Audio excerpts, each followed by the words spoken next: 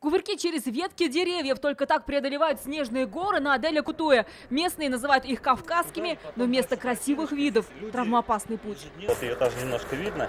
Она идет туда, ну до конца забора точно вот этого она идет туда асфальт. Тропинки занесли КАМАЗы, груженные снегом. Пока мы снимали на территорию, пытались заехать еще три грузовика. Правда, при виде телекамеры свернули с маршрута. А водитель бульдозера, работавший на территории, вовсе сбежал.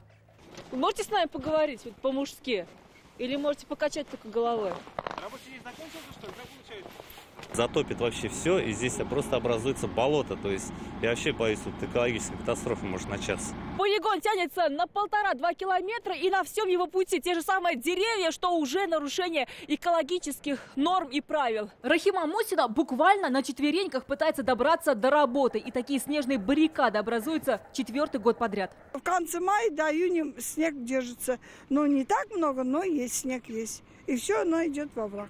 Эта территория на контроле экологов. Как выяснилось, участок у города арендует одно из предприятий и временно складирует снег. Правда, если все законно, почему все присутствующие на свалке начали придумывать оправдание?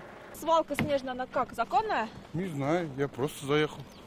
Вы просто стоите здесь? Да, в А туалет. почему тогда э, с вами разговаривал непосредственно водитель? Вот, э, Он адрес спросил. Складирование снега на зеленой зоне, где деревья вот не допускается. Мы с этим проработаем, эту организацию принудим, чтобы они здесь вывезли снег на зеленую зону. В Казани снег можно складировать лишь на официальных свалках и в снегоплавильных станциях. Часть из них принадлежат водоканалу. В этот холодный период для экологов горячая пора. Сейчас уже обнаружено 10 незаконных свалок. За грязный снег юридические лица расплачиваются деньгами, санкции от 250 тысяч рублей.